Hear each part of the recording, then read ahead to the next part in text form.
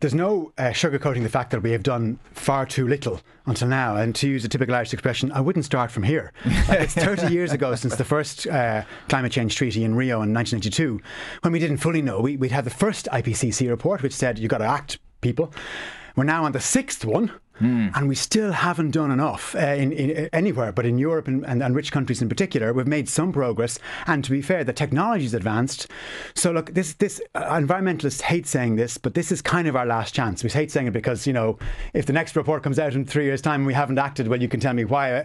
But like, it really does seem to be. It's actually uh, the the chief scientist, the chair of the IPCC, stole my line. I was just reading his press release. He said it's now or never, and I think that is the takeaway from this. Uh, so 1.5 degrees was this figure that we were always being quoted. We have to stop the world, uh, uh, uh, the, the, the global temperature uh, on average increasing by over 1.5 degrees. I understand, and this has only been published in the last hour, uh, so we're all kind of trying to get our heads around it as much as we can, as quickly as we can.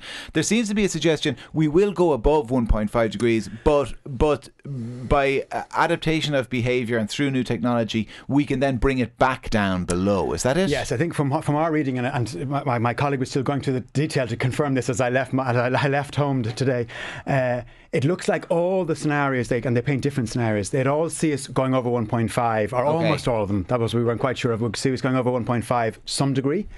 Uh, but that the, in the better case scenarios, where we, which means where, where, we act more and faster, we can bring it back down below 1.5 this century. So, is, it, does that mean? And, and apologies to interrupt you, but does that mean that, that there is going to be some short term pain. I mean, what ha- what happens when the globe when we tip over 1.5 well, degrees? I know it's not a kind of yeah, an overnight sudden exactly. catastrophe, it's, it's, it's but not, there must be some ramifications. I was say it's not it's not a switch, but actually if we go much higher than that, it can be, as in there are these things called tipping points. Whereas if yes. you know, if if the tundra across the top of, of, of Canada and and uh, Russia melts, then it releases all the methane trapped in the bogs, and then we're kind of in a bad in a vicious cycle.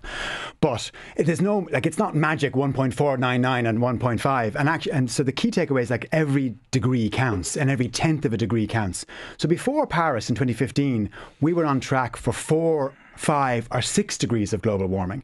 Now, if you look at the pledges and the actions, it's more like two, 2.5, or maybe three or so. So it's still like anything above two is catastrophic, mm. but it's not as catastrophic as six. So we're like, we're getting better with our pledges. We're getting a bit better with our action, but not fast enough on the action. So yes, it looks like even if we do, you know, everything the UN scientists say and everything that environmental campaigners and, uh, uh, and experts say and energy experts say over the next five and 10 years, we probably will still overshoot a bit but that'll be a whole lot better than if we don't. I mean, we're already seeing we're at, we're at about one degree of global mm. warming now.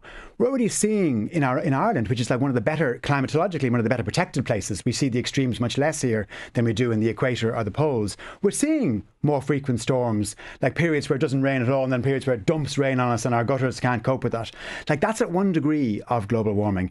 If we let it go to 1.5, we're going to have worse, and if we go over two, well, then we may not be able to stop it getting, you know, a really vicious cycle that will be make. I mean, scientists would say the, the human civilization as we know as we know it, seven billion people uh, existing on the planet, is at stake if we mm. don't act on, on this. Uh, the, the, carbon capture and storage is a technology you mentioned. It, it, it, can be quite controversial because, as you say, it, it isn't proven as a technology yet, and then there are people who suggest it's kind of a cop out. It allows people to continue polluting, and we'll just say we're kind of like picking up the litter after us a, yeah. a little bit, um, and, and and ignoring where you have to kind of store all of that litter in the long run.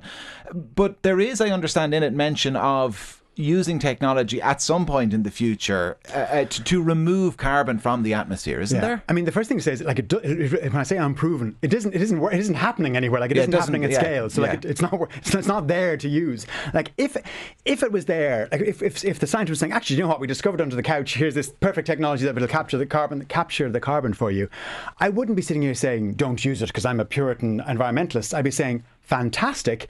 Let's use that to stop going over 1.5. But by the way, it would still be better if we didn't have to pay Russia for the oil and gas and if we had more cycling and walking facilities and more public transport, you know, powered by green mm. hydrogen. And it would still be better if we had walkable cities and if we had warmer homes that didn't need as much heat. That would all still be good to do. So that's why environmentalists get worried. Environmentalists get worried that because we're all would rather not to have to change, even if actually when we have the change, it's quite nice afterwards to have a warmer yeah. home and a. But we're creatures of habit. Yeah, but it would be if it was like that, fine. But we yeah. have to, you know, figure it out and find the loans and find the supports.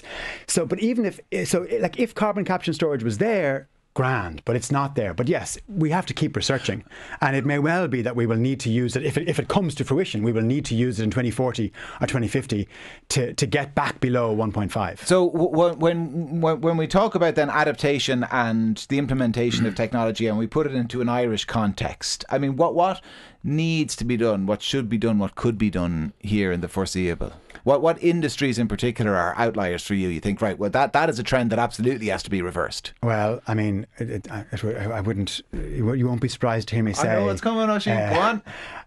Along with all sectors, and I'll take ten seconds in each we have increased our, our, our, intensification and our pollution from agriculture yes. really significantly over the last uh, six, seven years in particular. Now, what was the trend before that? It's kind of plateauing. Like okay. it was kind of, to be fair to agriculture, and I do often say this, but it gets lost in the noise, that agricultural emissions didn't rise like since since 1990 when we started measuring this seriously. Mm. Like transport emissions went up like almost three times and then began to come came back down a bit in the recession.